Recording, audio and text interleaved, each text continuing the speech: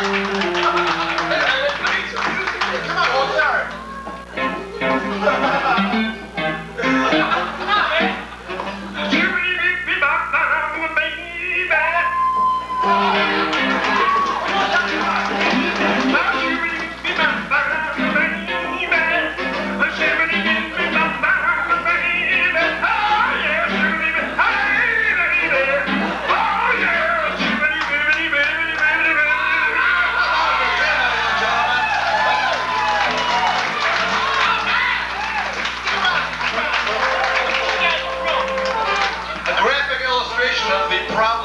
thinning ozone layer, I think.